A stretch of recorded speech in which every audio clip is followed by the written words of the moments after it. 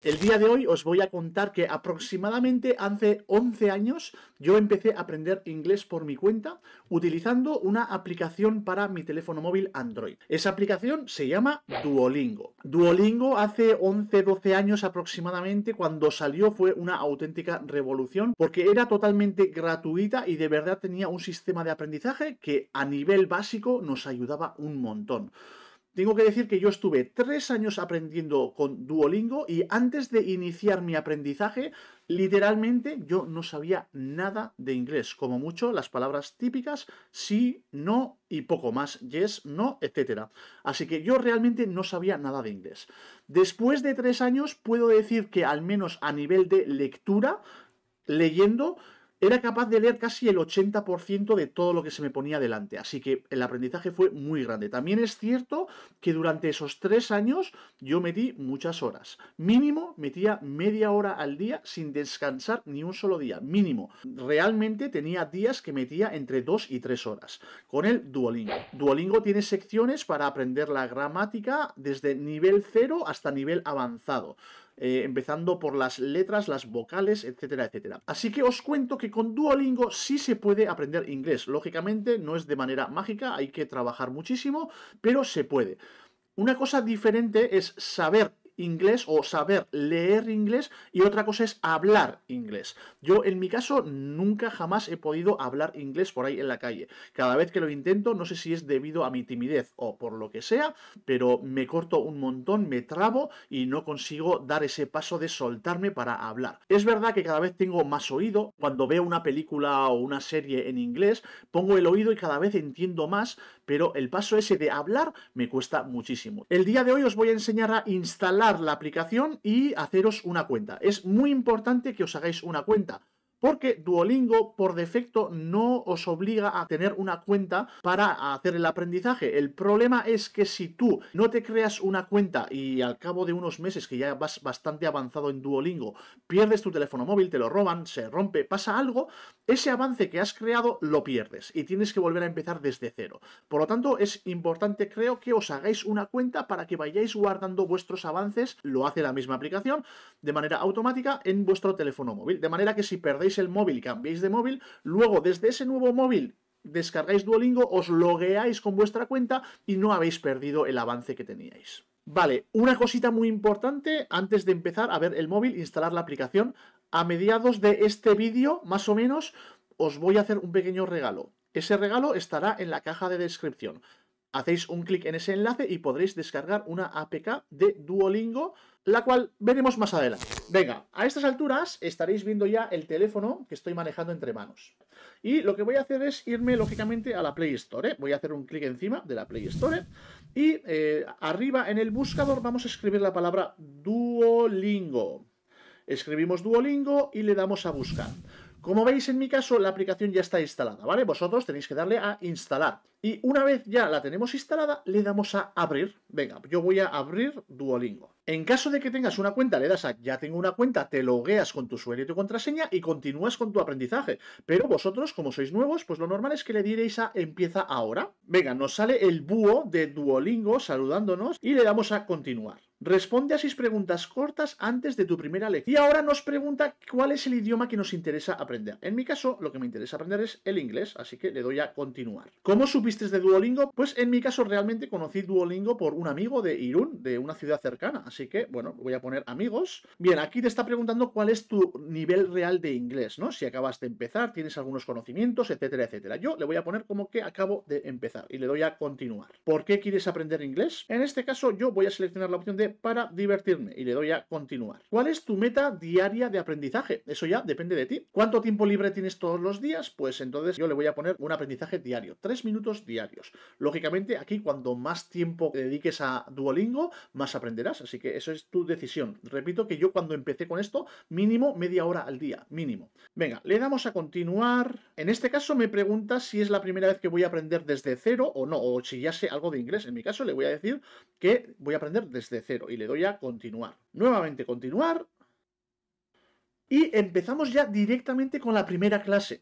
Luego veréis que cuando termines la clase verás una especie de mapa donde tú vas avanzando, ¿vale? Pero primera lección, pues nos dice que vayamos eh, hablando y seleccionando las palabras adecuadas. En este caso, en la pantalla pone coffee, que es café en español. Y también te lo dice, el móvil te habla en inglés y te dice coffee. Vale, pues ahora tienes que decirle qué es lo que ha dicho. Entonces seleccionas la opción café y le das a comprobar. Si es correcto, pues un verde y continuamos. Venga, voy a hacer esta lección rapidito porque no quiero que perdáis tiempo viendo cómo yo aprendo inglés, ¿vale? Así que venga, lo voy a hacer rapidito.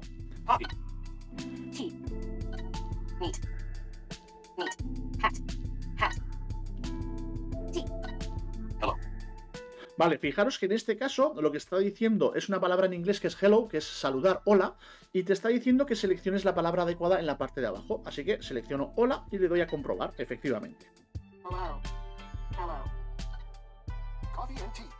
me está diciendo que rellene una frase en español, ¿vale? Dice coffee and tea, o sea, café y té. Por lo tanto, primero selecciono café, luego y y luego té. Y si es correcto, pues me deja continuar. 我退掉。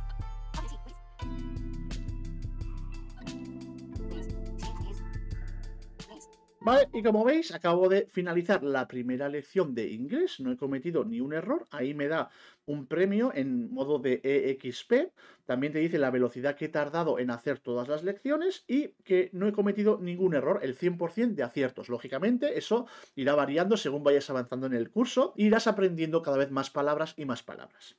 Vale, le voy a dar a continuar me dice lo que he ganado, 10 XP, y aquí me está diciendo que seleccione por cuánto tiempo me quiero comprometer a aprender diariamente con Duolingo, ¿no? Una racha de 7 días, 14 días, 30 días. En caso de que falles, pues no te dará una recompensa. Si tú le dices que quieres hacer una racha de 7 días y la cumples, te dará un premio extra.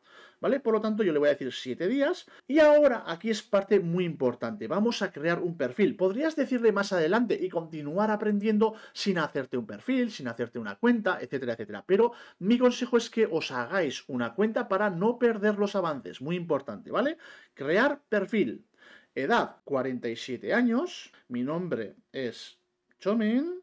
Continuar mi correo electrónico. Es importante que este correo electrónico sea real. Me pide que introduzca una contraseña, pues venga, vamos a poner una contraseña que no se nos olvide. Bueno, es cierto que aunque se nos olvidara, luego gracias a ese correo electrónico podríamos recuperarla o cambiarla, ¿vale? Pero bueno, es importante que pongamos una contraseña, ¿vale? Ya he creado mi perfil y ahora me dice que si quiero puedo probar Duolingo Plus durante dos semanas gratis, pero para hacer esto me va a pedir que inserte la tarjeta de crédito, etcétera, etcétera, y luego a las dos semanas pues tendría que cancelar la compra, ¿vale? Así que no nos compensa. ¿Por qué? Porque más adelante os digo cómo podemos conseguir esto gratis, os lo digo así de claro, ¿vale? Lo vamos a ver más adelante, tranquilos. Venga, le digo no gracias y continúo con la versión gratuita. Le doy a continuar. Vale, si yo le doy al botoncito para atrás, ¿vale? A la de abajo a la derecha, ¿vale? Fijaros que yo estoy aquí en la estrellita número 1. Fijaros cómo tiene como una línea lateral que rodea el círculo, la cual solamente he completado una de las lecciones. Cada círculo, cada estrella son cuatro lecciones. Una lección, dos lecciones, tres lecciones, cuatro lecciones.